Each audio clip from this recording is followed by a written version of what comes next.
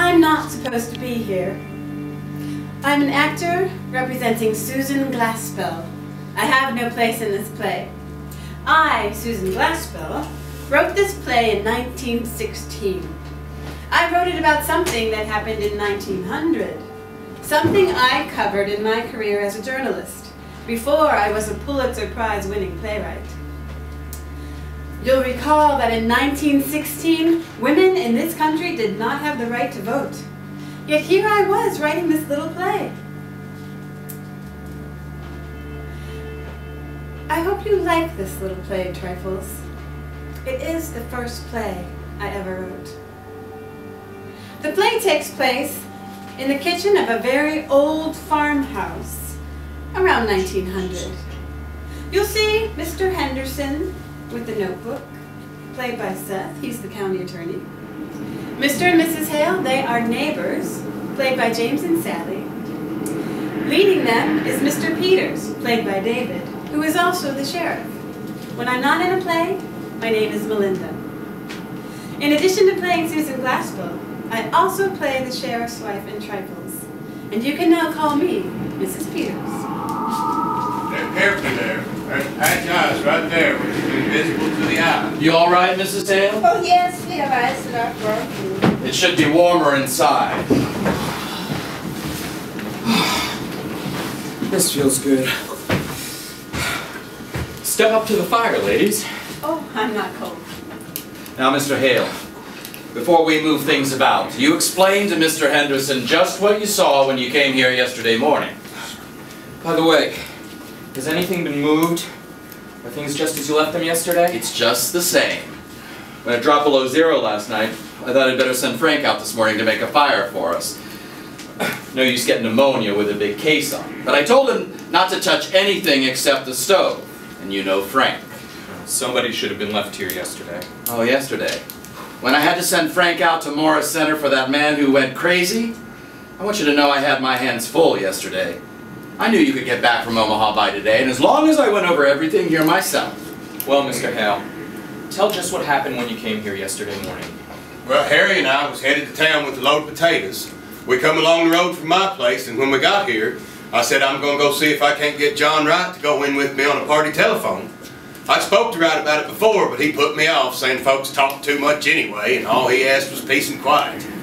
I guess you know about how much he talked himself. But I thought maybe if I talked about it before his wife, though I said to Harry I didn't know what his wife wanted made much difference to John. Let, let, let's talk about that later, Mr. Hale. I do want to talk about it, but tell now just what happened when you got to the house. Now, now, I didn't see or hear anything. I, I knocked at the door and it was still, it was all quiet inside. I knew they must be up. It was past 8 o'clock, so I knocked again. And I thought I heard somebody say, come in. Mm-hmm. I wasn't sure. I'm not sure yet, but I opened the door, this door, and there in that rocker sat Mrs. Wright. What was she doing? She was rocking back and forth. She had her apron in her hand and was kind of pleating at it. Mm-hmm. How'd she look? Well, she looked queer. How do you mean queer? Well, as if she didn't know what she's going to do next. It, it kind of done up. Uh-huh. How did she seem to feel about your coming? I don't think she minded one way or another. She didn't pay much attention. I, I said, how do, Mrs. Wright? It's cold, ain't it? She said, is it? And just went on a pleating at her apron. Well, I was surprised she didn't ask me to come up to the stove or to sit down, but just sat there rocking back and forth, not looking at me. So I said I'd come to see if John wanted to put in a telephone. And Then she laughed. Now, I guess you'd call it a laugh. I, I thought of Harry and the team outside, so I said a little sharp, can't I see John? No, she said, kind of dull like. Why ain't he at home, says I. Yes, says she, he's at home. Well, then why can't I see him? I asked her out of patience. Because he's dead, says she. Dead, says I. And she just nodded her head, not getting a bit excited, but rocking back and forth. Well, well, where is he, I says. And not knowing what to say, she just pointed upstairs. Well, like that, I got up with the idea going up there. I walked from there to here, and then I said, well, well, what did he die of? He died of a rope around his neck, said she. Just went on a pleating at her apron. Well, I thought I might need help. I went out and called Harry. We went upstairs, and there he was, just a Okay, black... I, I think I'd rather you point that uh, upstairs when we get up there. All right, just go on now with the rest of your story. Well, my first thought was to get that rope off. It, it looked up... But uh, Harry, he went up to him and he said, no, he's dead all right, and we'd better not touch anything. So we come back downstairs, and she was still sitting that same way. I said, "Is uh, has anybody been notified, Mrs. Wright?" No, she said, unconcerned. Well, now who did this? Harry said uh, to Mrs. Wright. I don't know, she says. You don't know, says Harry. No, says she. Well, weren't you sleeping in the bed with him, says Harry. Yes, says she, but I was on the inside. You mean somebody put a rope around his neck and strangled him and you didn't wake up, Harry said. I didn't wake up, she said after him. Well, we must have looked as if we didn't see how that could be, for, for after a minute she said, I sleep sound. Well, Harry was going to ask her more questions, but I said maybe we ought to let her tell her story first to the sheriff or the coroner. Mm-hmm. So Harry went fast as he could to Rivers' place where there's a telephone. Okay, and what did Mrs. Wright do when she knew you'd gone for the coroner? Well, well, she moved from that chair to this one right here, and she just kind of sat there with her hands held together looking down. Mm-hmm. Now, I got the feeling that I ought to make some conversation, so I said I'd come to see if John wanted to put in a telephone. Then she laughed. Then she stopped. And she looked at me, scared. I don't know now. Maybe it wasn't scared. I, I wouldn't like to say it was. But soon Harry got back, and then Dr. Lloyd came, and, and then you, Mr. Peters. And I guess that's all I know that you don't. Well, I guess we'll go upstairs and then out to the barn and around there. Uh, you're convinced there was nothing important here? Nothing that will point to any motive? Nothing here but kitchen things.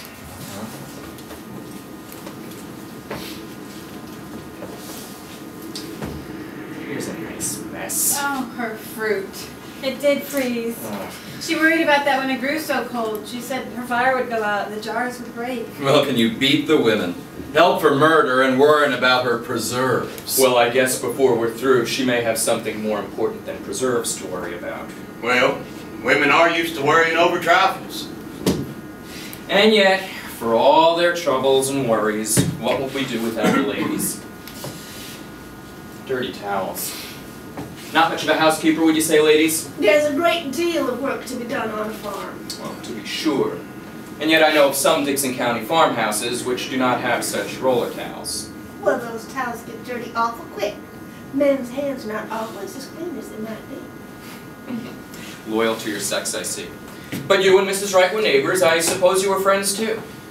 I've not seen much of her of late years. I've not been in this house in long years. Why was that? You didn't like her? Oh, I liked her all well enough.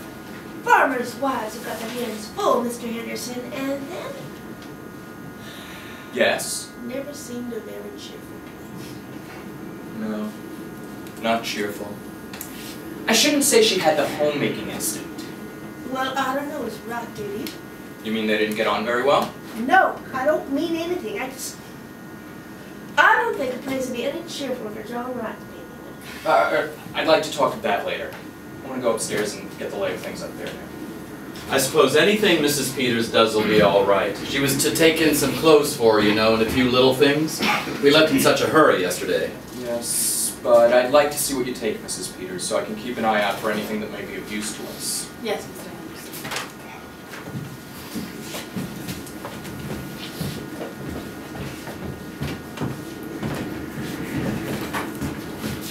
Well, I would hate to have men coming into my kitchen, snooping around and criticizing. Of course, it's no more than their duty.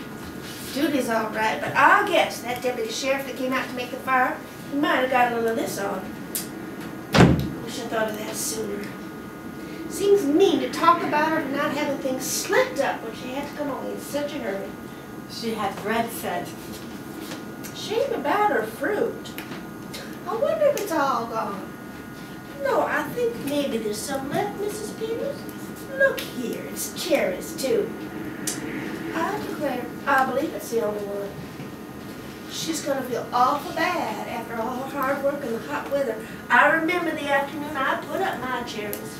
Well, I really must get those things from the front room closet. Are you coming with me, Mrs. Hale? You can help me carry them.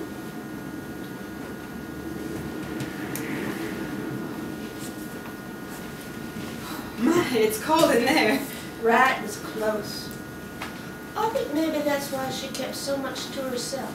You know, she didn't even belong to the Ladies' Aid. I suppose she felt she couldn't do her part in them. Well, you don't enjoy things when you feel shabby. She used to wear pretty clothes, be lively, back when she was Minnie Foster when the town girls sang in the choir. Oh my, that was 30 years ago. This all you was to take in? Well, she said she wanted an apron. Funny thing to want, because there isn't much to get you dirty in jail, goodness knows. She said it was in the top drawer of the cabinet. Yes, here it is. And the little shawl that always hung behind the door. Ah, yes, there it is. Mrs. Peters, Yes, Mrs. Hale. do you think she did it? Oh, I don't know. Well, I don't think she did. Asking about her apron and her little shawl and worrying about her fruit. Mr. Peters says it looks bad for her. Mr. Henderson can be awful sarcastic in his speech, and he'll make fun of her saying she didn't wake up. Well, I guess John Wright didn't wake up when they slipped that rope under his neck. No, it's strange. They must have done it awful crafty and still. They say it's such a funny way to kill a man, making it all up like that. That's what Mr. Hale says. He says there was a gun in the house, and that's what he can't understand. Mr. Henderson said on the way over that what was needed for the case was a motive, something to show anger or sudden emotion. Well, I don't see any signs of anger around here. I wonder how the men are getting on upstairs. You know, it seems kind of sneaking. Locking her up in town and then coming in here and trying to get her own house to turn against her. But Mrs. Hale, the law is the law. I suppose it is, Mrs. Peters. You know, you better loosen up your things. You won't feel it when you go outside.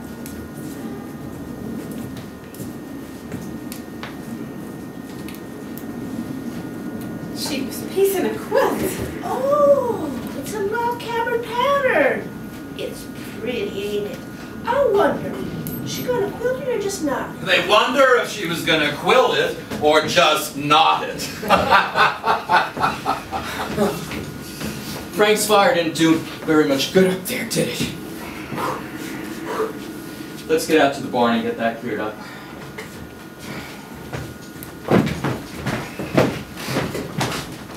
I don't see there's anything so strange or taking up our time with little things or waiting for them to get the evidence. Uh, see, so anything to laugh about. Of course, they have awful important things on their minds. Mrs. Peters, look at this. This is the part she was working on, and look at the sewing. See, all the rest is nice and even? And look at this here, it's all over the place. Why, it's as if she didn't know what she was about. Oh, uh, oh, uh, what are you doing, Mrs. Hale? Oh, I'm just fixing a stitch or two that's not sewn very good. Bad sewing always made me fidgety. I don't think we ought to touch things. Oh, I'll just finish up this little one here. Mrs. Peters, Yes, Mrs. Hale. what do you suppose she was so nervous about? Oh, I don't know. I don't know that she was nervous. I sometimes so awful queer when I'm just tired. Well, I really must get these things wrapped up. They may be through sooner than we think. I wonder where I can find some paper and string. In the cupboard, maybe? Why, here's a bird cage. Did she have a bird, Mrs. Hale? Why, I don't know if she did. You know, there was a man last year selling canaries real cheap. I don't know if she took one, maybe she did. She used to sing real pretty herself. Seems strange to think of a bird here. But she must have had one, or why would she have a cage? I wonder where it went. Cat got it, maybe? No, she didn't have a cat. She's got that feeling about cats some people have, being afraid of them. My cat got into her room and she got real upset and asked me to take it out. My sister Bessie was just like that. It's queer, ain't it? Well, look at this door. It's broke. One hinge is pulled apart. It looks as if somebody had been rough with it. Why, yes. Mr. Hale? I wish if they were going to find any evidence, there'd be about it. I don't like this place. Well, I sure am awful glad you came with me, Mrs. Hale. It'd be lonesome for me sitting here alone. It would, wouldn't it? I tell you what I do wish, though, Mrs. Peters. I wish I had come out here sometime when she was here. I wish I had. Well, of course, you were awful busy with your house and your children. I could have come. I stayed away because I weren't cheerful. And that's why I ought to have come. I don't like this place. is down in hollow and you don't see the road. I don't know what it is, but it's a lonesome place. It always was. But I sure wish I'd come to see Minnie Foster sometime. I can see now. Oh, you mustn't reproach yourself, Mrs. Hale. We often don't know how things are with other folks till something comes up. Not having children. It makes less work, but it makes an awful quiet house. And right no quiet work and no in when he did come in. Did you know John Wright, Mrs. Peters? Not to know him. I'd seen him in town a few times. They say he was a good man. Good, yes. Well, he paid his debts and he didn't drink. He kept his word as good as well with most, I guess, but he was a hard man, Mrs. Peters. Just to pass the time of day with him, like a cold wind that gets to the. Tell you what. Why don't you take that quilt in with you when you go? I take up her mind. I think that's a nice idea, Mrs. Hale. There couldn't possibly be any objection to it, could there? What, just what would I take? I wonder if all her patches are in here and her things. Well, um, here's some red. I bet some of her sewing things are in here. What a pretty box. Looks like something somebody might have given you. I bet her scissors are in here. Oh, now there's something wrapped up in a piece of silk. Oh, that's not her scissors. Oh, Mrs. Peters, it's... It's the bird. But Mrs. Peters, it's neck. Look at its neck. It's all other side, too. Somebody wrung its neck. Well, ladies, have we decided if she was going to quilt it or knot it? We think she was going to knot it. That's interesting. Uh, I'm sure. Is the bird flown? Cat got it. Is there a cat? Well, not now. They're superstitious, you know. They leave. No sign of anyone having come from the outside. Their own rope. Let's get upstairs again and go over it piece by piece. It would have had to have been someone who knew exactly every. She was going to bury it. In this pretty box. When I was a girl, my kitten, there was a boy took a hatchet, and before my eyes and before I could get there, if they hadn't held me back, I would have hurt him. I wonder what it would feel like never having any children in the house. Wright wouldn't have liked this bird, the thing that sighed. She used to sing. Killed that too. We don't know who killed the bird. I knew John Wright. It was an awful thing that happened here that night, Mrs. Hale. Killing a man while he slept, slipping a rope around his neck that choked the life out of him. His neck choked the life out of him. We don't know who killed him. We don't know. If there had been years and years of nothing, and then a bird to sing to you, be awful still after the bird was still. I know what stillness is. When we homesteaded in the Dakotas, after my first baby died, and he was just two years old, and me with no other than. How soon do you suppose they're going to be through finding the evidence? I know what stillness is. The law has got to punish crime, Mrs. Hale. I wish you had known Minnie Foster when she wore a white dress and boots and stood up in that choir and sang. I wish I could come over here and see her sometimes. That was a crime. That was a crime. Who's going to punish that? We mustn't take on. Oh, I might have known she needed help. I know how things can be for women. Know, it's a queer thing, Mrs. Peters. We all live close together. And we all live far apart. We all go through the same thing. It's just a different kind of the same thing. You know what I would do if I was you? I wouldn't tell her that her food was gone. Tell her it. Tell her it's all right.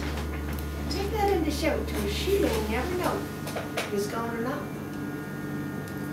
My, it's a good thing the men weren't here. And they just laugh, getting all stirred up about a little thing like a dead canary. As if that could have anything to do with Wouldn't they just laugh? Maybe they would. Maybe they would. No, Peters. It's all perfectly clear except a reason for doing it. But you know women and juries. There was some definite thing, something to show, some connection to this strange way of doing it. Well, I've got the team hooked up. Very cold out there. Yeah, I'm gonna stay back here a while myself. You can send Frank back for me, can't you? I wanna go over everything. I'm not satisfied we can't do better. You want to see what Mrs. Peters is going to take in? Hmm. No, they're not very dangerous things the ladies have picked and Mrs. Peters doesn't need supervising. For that matter, the sheriff's wife is married to the law. You ever think of it that way, Mrs. Peters? Not just that way. Married to the law. George, I just want you to come here for a minute. We ought to take a look at these uh, windows. Oh, windows. We'll be right out, Mr. Hale.